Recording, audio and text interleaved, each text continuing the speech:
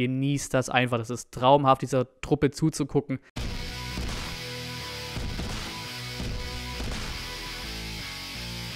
Und ein Moinsen zum Nachbericht zum 2-0-Sieg gegen die TSG Hoffenheim gestern. Wir machen die Highlights durch, 15. Spielminute.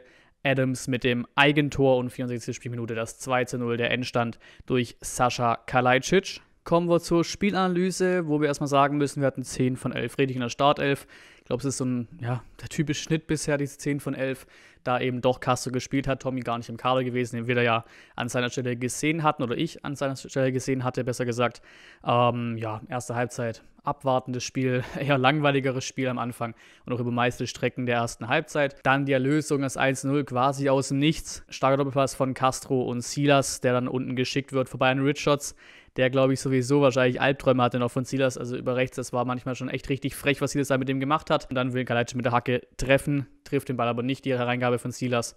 Ähm, und dafür halt einen Schritt hinter ihm steht Adams, der bekommt ihn halt ab und spitzelt ihn halt ins eigene Tor. Und dann kommt Hoffenheim aber besser ins Spiel, muss man sagen keine riesen Chancen ähm, über weite Strecken, aber halt eine richtig dicke von Grammaric, der gefühlt auf dem Mittelpunkt frei zum Kopfball kommt. Das Ding zum Glück nicht platziert genug auf den Kasten von Kobel bringt. Mangala muss verletzt raus in der 43. Minute, ähm, kam jetzt eben raus, dass er Muskelfaserriss im vorderen Oberschenkel hat, glaube ich, war es.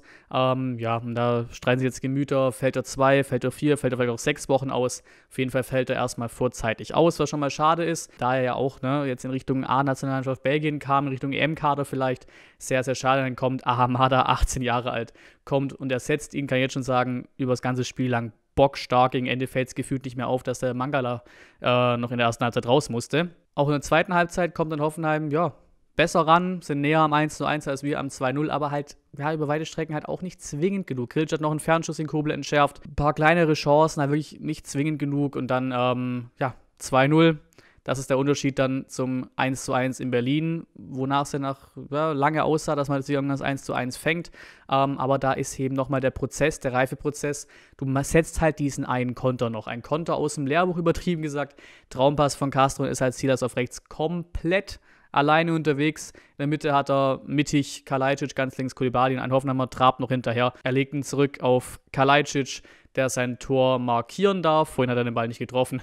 Diesmal darf er das Tor dann selber machen. Ja, unfassbar. Kalajdzic jetzt einfach sieben Spiele in Folge mindestens einmal getroffen. Bobic-Rekord von 95, 96 eingestellt. 13 Tore in den ersten 24 Bundesligaspielen. Nur Olicher war da in der Bundesliga-Historie besser. Und damit ist Sasa bei 17 Scorern, sieht das bei 16 und die beiden sind tatsächlich an 70 Prozent unserer bisher geschossenen Tore beteiligt. Das ist, das ist einfach komplett wild. Am Ende hat Hoffenheim noch ein paar Chancen. Ähm, aber halt, wie gesagt, nicht zwingend genug. Und am Ende des Tages habe ich auch im Stream gesagt, die hätten da 80 Mal aufs Tor schießen können. Das Ding wäre nicht gefallen. Das, das hat gestern einfach nicht sein sollen bei den Hoffenheimern. Habe ich schon gesagt, ein reifer Auftritt, weil einfach diese Steigerung da war, eben sich nicht den Ausgleich zu fangen, sondern eben diesen Konter zu setzen und auch das 2 zu 0 zu machen. Kommen wir zur Tabellensituation. Die ist natürlich für uns sehr erfreulich. Wir sind achter Platz, äh, stehen vor Freiburg und vor Hoffenheim. Damit quasi ne, die kleine Baden-Württemberg-Meisterschaft. Aktuell führen wir dort. Und ne, ich sag's einfach mal, wir sind 15 Punkte die, das krasse Torfeld ist eingerechnet von plus 10 Toren. Äh, sind 16 Punkte quasi vor Platz 16 und halt nur zwei hinter Union, die auf Platz 7 sind. Vier Punkte in der Leverkusen und sechs Punkte in der Dortmund, die sechster und respektiver fünfter Platz sind. Hoffenheim Platz 11, sechs Punkte hinter uns nun aktuell. Ne? Manche schreiben schon, der Blick geht in Richtung Europa. Die VfBler ja, in Interviews zumindest klang es auch so ein bisschen raus. Nicht, dass die jetzt nach Europa wollen oder so, also irgendwelche neuen Ziele ausrufen, nein, aber halt, ne, dass da schon einiges noch richtig, richtig scheiße laufen muss, um wirklich noch in Abstiegsgefahr zu, zu kommen. Also das Thema Abstieg sollte auf jeden Fall kein Thema mehr sein. Richtig, richtig geil. Und fünf Spiele in Folge ungeschlagen. Zweiter Heimsieg in Folge und das heißt dann auch achter Platz, wie gesagt, in der richtigen ne, Tabelle. Und elfter mittlerweile in der Halbtabelle, sind wir gut aus dem Abschiedskampf rausgekommen nach der Hinrunde. Und fünfter Platz in der Rückrundentabelle nach 25 Spielen. Das ist einfach der Wahnsinn. Wir kommen zum Man of the Match Voting, wie immer im Community Tab und auch wie immer. Lasst mir generell Meinungen zum Spiel da und lasst mir auch Meinungen zu den Spielern da, die ich hier euch jetzt gebe, quasi zur Auswahl. Oder halt jemanden der es nicht in die Auswahl geschafft hat, der es aber verdient hätte. So, heute sind wir quasi vier Stück.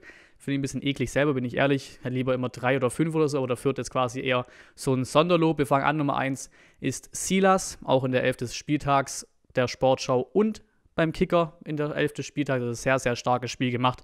Der kommt wieder richtig rein und wie gesagt, über rechts da richtig, richtig Radau gemacht. Auch ne, einfach gegen Richards. Da, ja, das hat Spaß gemacht da rechts.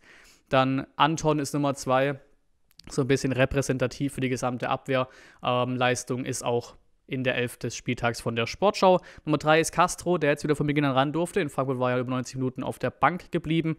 Ähm, an beiden Toren maßgeblich beteiligt. Beim ersten Tor Doppelpass, beim zweiten Tor die perfekte Vorlage auf Silas oder beide Male die perfekten Vorlagen auf Silas, der dann das Tor aufgelegt hat.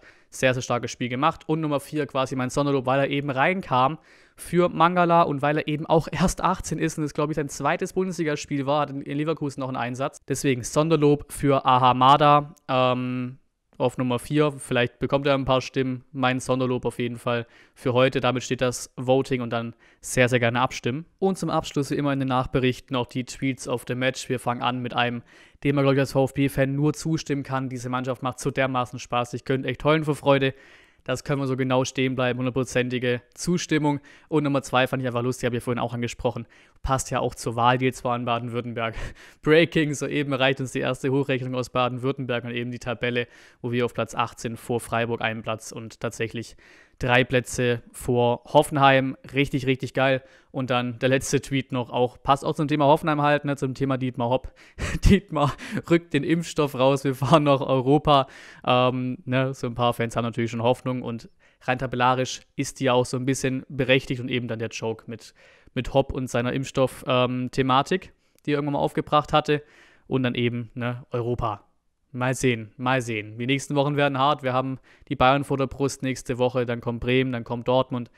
Wir werden absehen, die Saison ist auch noch lang. Wir haben jetzt immer noch neun Spiele zu spielen, die alle, wie gesagt, eher schwerer werden als einfacher im Vergleich zum Rückrundenstart und Rückrundenende.